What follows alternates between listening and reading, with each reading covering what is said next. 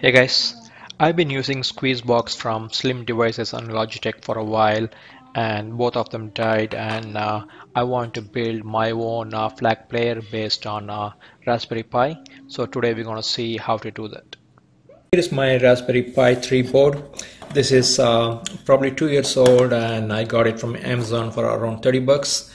Uh, if you're not sure what's the model number of your board, it's right here. Uh, so it's Pi 3 model B plus and I'm going to use a 32 GB uh, card uh, for this one. So let's get started. So if you Google Raspberry Pi based uh, FLAC player, you will find several softwares available. Uh, most of them should be open source and should be free. I'm going to try Rune Audio today and this one supports uh, DLNA as uh, most of my FLAC files are sitting in a NAS storage. So you go to devices and you pick the software build based on your device type. Uh, mine is Raspberry Pi 3 and download build. So this build is dated 2016 and it did not work with a Pi 3 model B+. All I got was a rainbow screen and nothing happened after that. So after going through help and uh, Rune Audio forum, I found uh, what you need is a 0.5 version. I will post this link uh, in my description so you can uh, go through this and uh, download the image from here.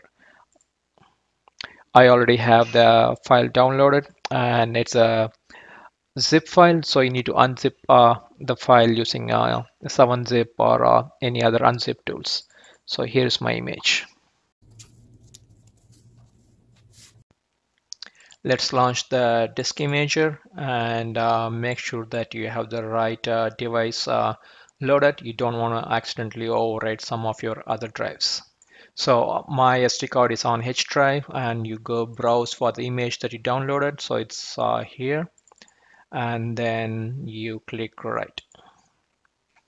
Yes, all right.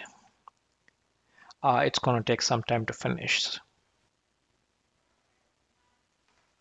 Okay right successful. Then all you have to do is unplug it and plug it your uh, Raspberry Pi 3 uh, you can ignore this uh, Windows uh, prompting to format cancel.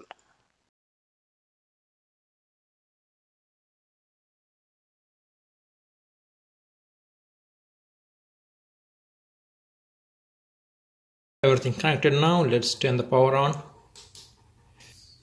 if you see the green light, that's probably a good sign because it's actually reading your disk. So device is powered on and uh, that's what you're gonna see. And let's uh, launch Rune Audio and see what happens. Let's go ahead and uh, launch the player. It's http colon slash uh, slash Rune Audio, just like that. And if everything went well, you should see a player. So far, we are good and the next step is to connect this player to your NAS. To do that, you go to menu and click on sources. I just did mine here, uh, and if you want to add your mount, you go click uh, add new mount. You can type uh, pretty much whatever you want. That's the name of your uh, store. And uh, IP address in my case is 192.168.0.107. The file path is uh, public shared music slash FLAC. And if you uh, save mount if everything is right it should turn green. And uh, there you go. And uh, it should start refreshing. I already did mine and refreshed my uh, library so I'm gonna go ahead and remove the one that I just added. Okay so uh, let's go to uh, queue. There is nothing in my queue. Uh, browse library. And if you go to network mounts you would see, see you would see your uh, NAS that you just added. So DIY Tech is my NAS and here is everything I have in my NAS it's time to test. Let's uh, play a sample song. And uh, to test I connected my headset to the audio output just to make sure that I can listen to the song and at this point the display still says this and you can easily change that you go to menu settings and turn the local browser on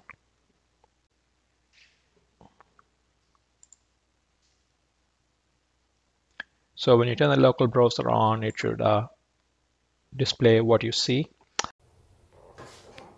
Let me go back.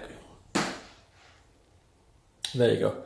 Let's also launch an app, uh, Rune Audio, and it should display the same thing. Yes.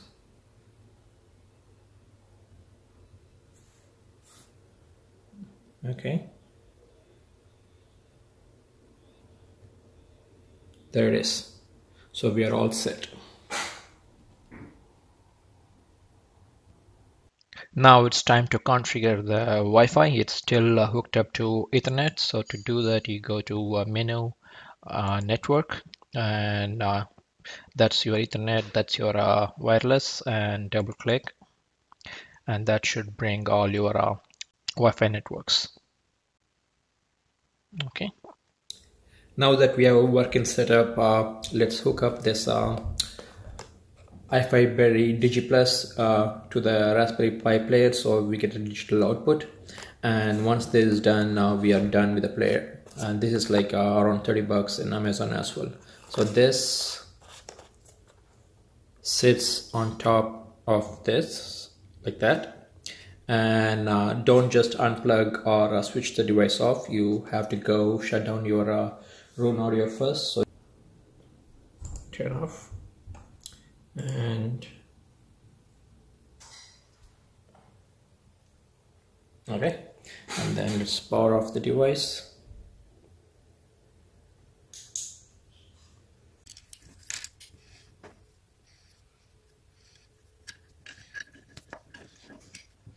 So I have the stands hooked up and you just uh,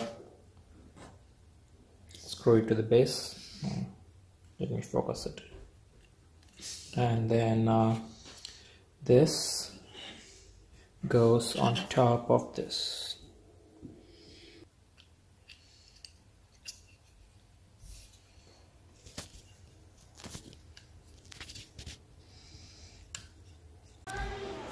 So it sits uh, perfectly on top just like that.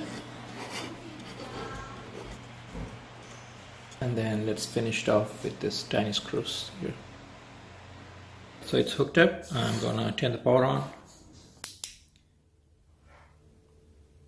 So the DigiPlus board is plugged in and it's still not enabled though. So you need to go to menu, settings, and in the IS kernel, you need to go pick your uh, board. So my case, it's uh, HiFiBerry DigiPlus and it says that uh, you know you need to reboot and then configure the MPD configuration. So let's go ahead, apply settings.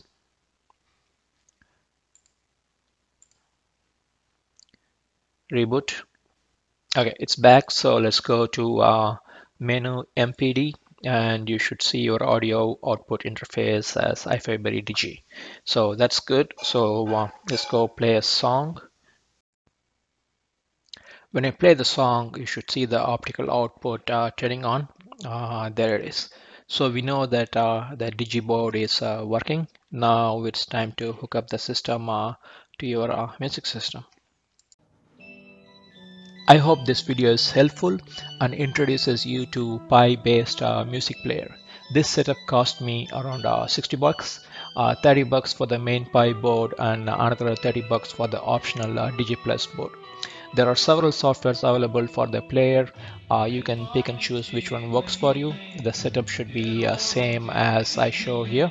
And uh, thanks for watching.